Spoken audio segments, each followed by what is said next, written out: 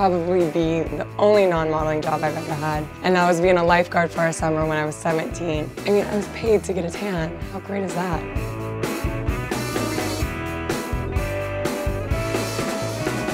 My first job that was not modeling was uh, waitressing. My back hurt a lot when I was waitressing.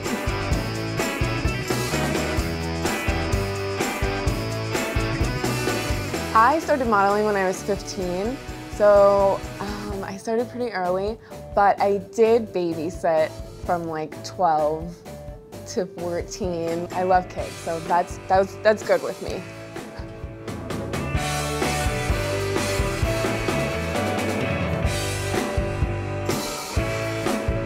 My first job was actually working with my best friend Bonnie, who I grew up with. We were doing a, basically little kids sports photography. That was my first job, and it was so much fun. We were outside. I mean, it was a cool little business.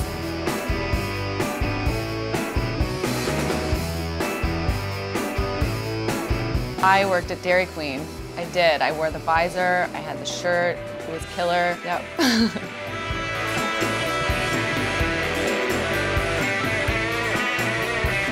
Before I started modeling, I worked in a pizzeria. I was a waitress, and I actually kept working there until I was still modeling and I was still working in a pizzeria.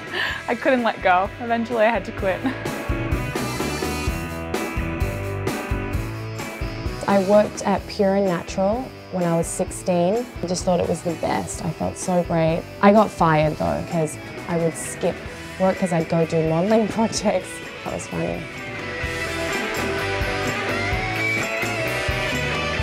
I used to work as um, a waitress and I used to work making cotton candy on the beach. I was fantastic at it. When I'd be finished, there'd be cotton candy all on my eyelids and all over me and I used to make big ones.